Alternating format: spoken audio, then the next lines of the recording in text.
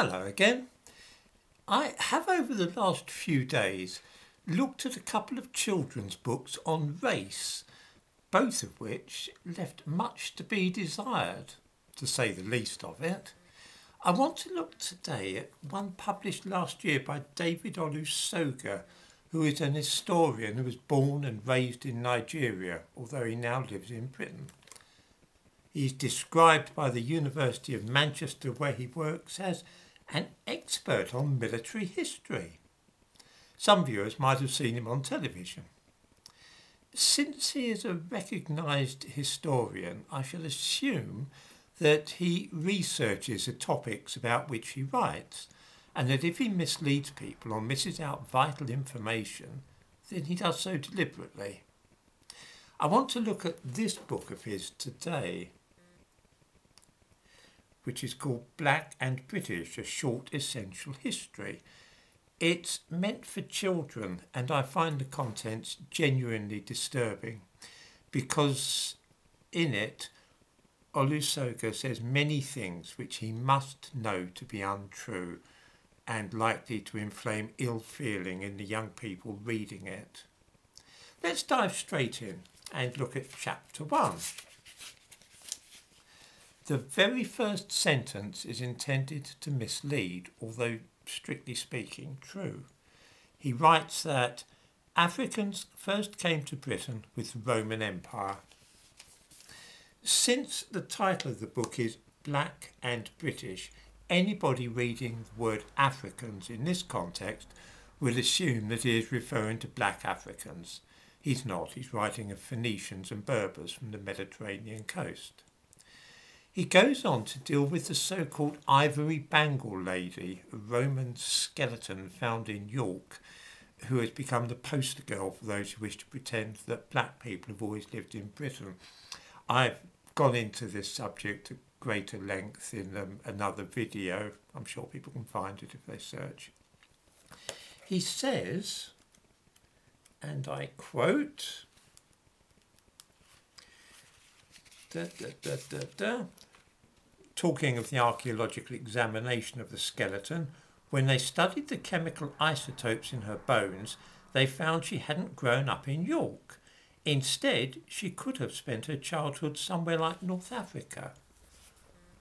Well, hmm, okay.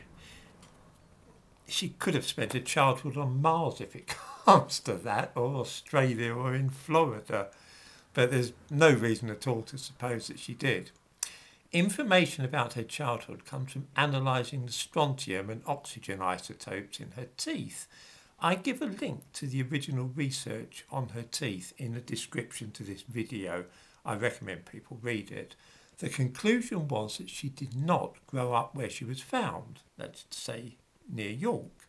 After discussing various possibilities, the team concluded that, in summary, the oxygen and strontium isotope evidence suggests that ST60, that's the ivory bangle lady, spent her childhood either in the west of Britain or perhaps more likely in compatible, possibly coastal areas of Western Europe or the Mediterranean. Why did David Olusoga not cite this if he wished to be accurate and objective? The reason is he wanted to get in the word Africa and hint that she was black. The famous black trumpeter of Tudor times makes the inevitable appearance in the book. Um, it's when we reach Olusoga's account of black people in Britain during the 20th century that the real deceptions begin. Not to mention some of the most awful schoolboy howlers about basic historical facts. On page 152, for example, we are solemnly assured that 60,000 British soldiers died on the first day of the Battle of the Somme in 1916. This is absolute nonsense. I suggest that viewers try just looking quickly googling the Battle of the Somme and seeing how many British soldiers actually did die that day. Just over 19,000 British soldiers died on the first day of the Somme, 19,240 to be precise. Why does Olusoga say 60,000 died? I'm guessing that he's seen somewhere that there were 57,000 British casualties that day, which there were, and he didn't bother to check how many of these were wounded and how many actually died. And this is the man who is a professor at Manchester University and described by his employers as an expert on military history. I don't think so. He describes the um, West Indies Regiment, which consisted of 15,000 men, black men from the Caribbean, and says of it, still on page 152, da, da, da, they had one major region, speaking now of the British government, they had one major region, reason for not letting black regiments fight in Europe.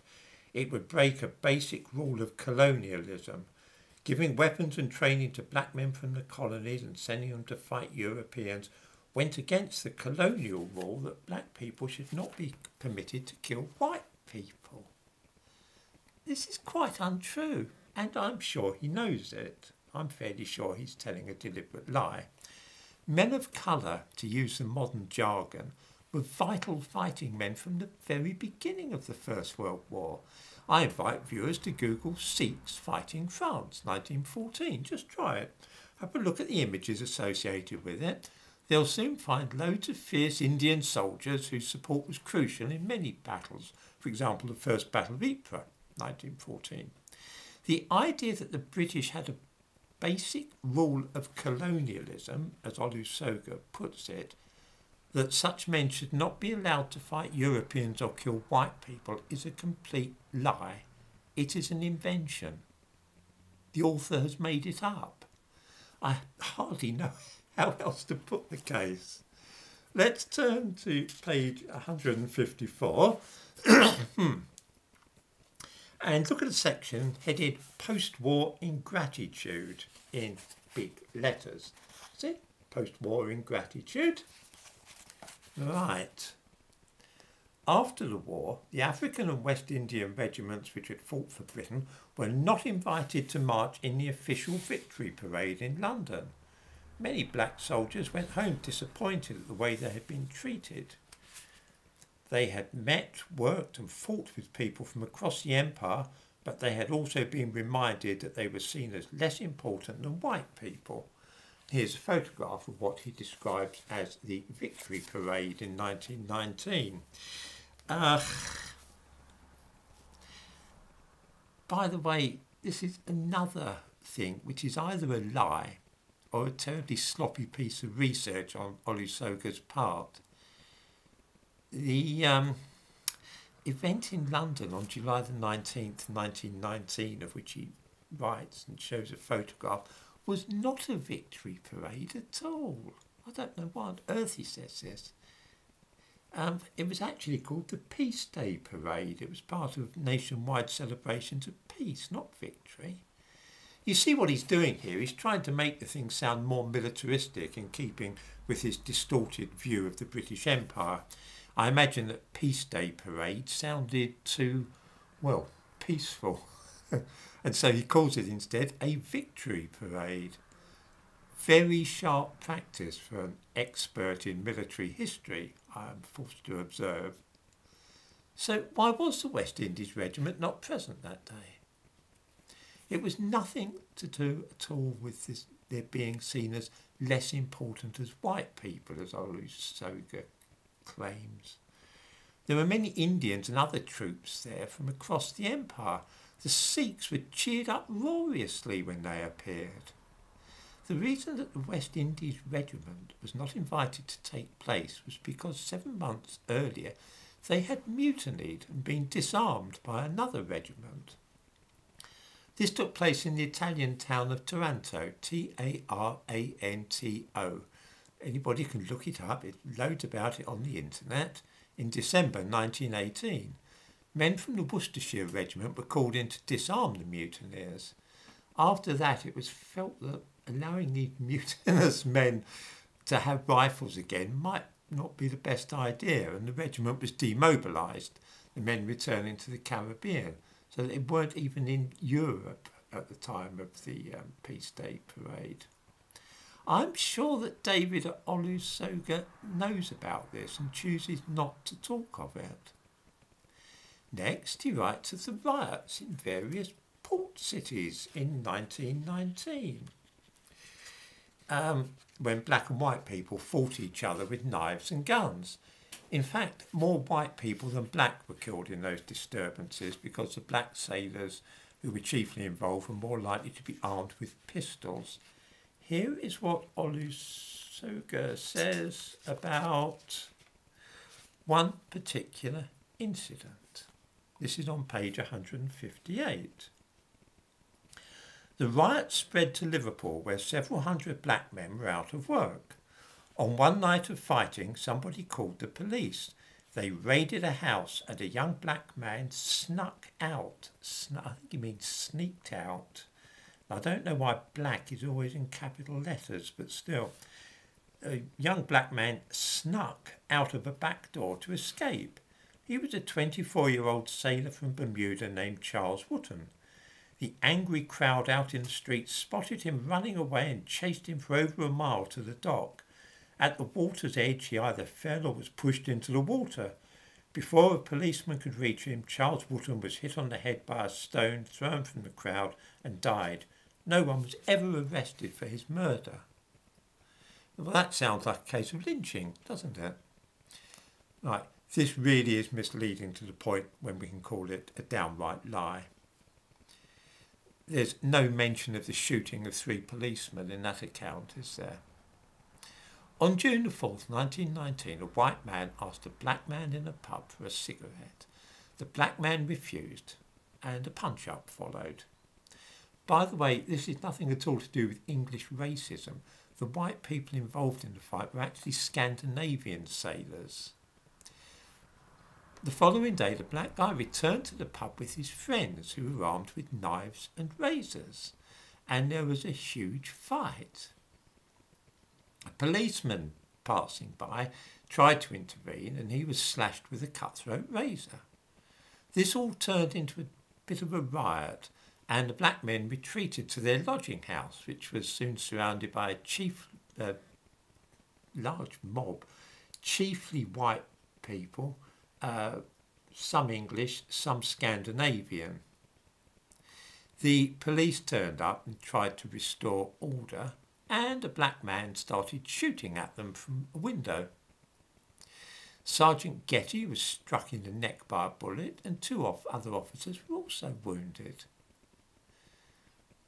The gunman, this is a Charles Wootton who's written about here, tried to escape from the back of the house and he was chased by the police and some of the crowd. He fell in the harbour and drowned. This is all a bit different from Olusoga's account, I'm sure you'll agree. Page 195. More lies. In 1981, 13 young people, all of them black, died when a house in the New Cross area of London was consumed by fire. They had been attending a birthday party. The police ruled out the possibility that the fire had been started deliberately, and when pushed by the families, they dismissed suggestions that if the fire had been an arson attack, there might have been racial motives behind it. I, as I say, complete lies. The only reason the police were involved in the first place was because they thought this was arson. They didn't think it was a racist attack for the simple reason that some of the people at the party had told them there had been a fight and some gate crashers had been ejected. The fire had started inside the house and been started by somebody who was present there that night. Only black people were in the house, which ruled out the National Front, or indeed any white person, so there was absolutely no reason to think there was a racial motive. Actually, someone had um, poured nail varnish remover over some curtains and an armchair and started the fire, probably as an act of spite because of the ill feeling resulting from the fight, but that's another matter. It certainly wasn't a racist murder of 13 black people. Right, page 196. When in March 1981, around 20,000 black people marched from Deptford in South London to the centre of the city demanding a thorough investigation Sections of the press reported the predominantly peaceful march as a day of riots. Well, the reason that some sections of the press reported the march as a riot was, uh, well, because of the rioting. The thumbnail to this video shows black youths looting a jeweller's shop in Fleet Street that day. This was the first looting during a riot seen in London for half a century. Um, so it was certainly newsworthy. Other buildings had windows broken, police cars were attacked, 17 police officers ended up in hospital, and white passers by were attacked and robbed. Naughty newspapers were reporting that riot. I could go on all day about this wicked and mischievous book, which appears to have been written with the sole intention of inflaming friction between different ethnicities in Britain. Uh, I note that Olusoga has been awarded the OBE for services to community integration. The mind positively boggles at the thought.